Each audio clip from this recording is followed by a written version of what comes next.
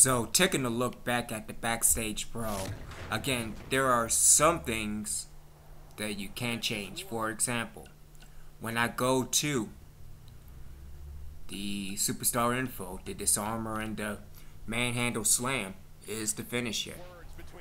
But instead of using the Dis-arm-her, Becky Lynch's uh, alternative finisher, the manhandle slam, is used instead of your submission.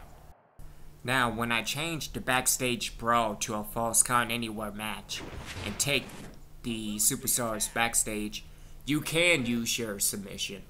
But I still think it is upsetting that, you know, in a backstage brawl, you don't have the ability to use your own submission move.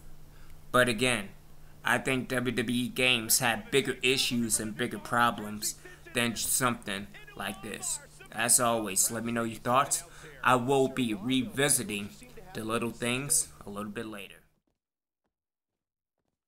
A rivalry has reached a new level. Ah, it could be nap time. Ah, she just let her out of that one. I think she's just toying with her, Michael.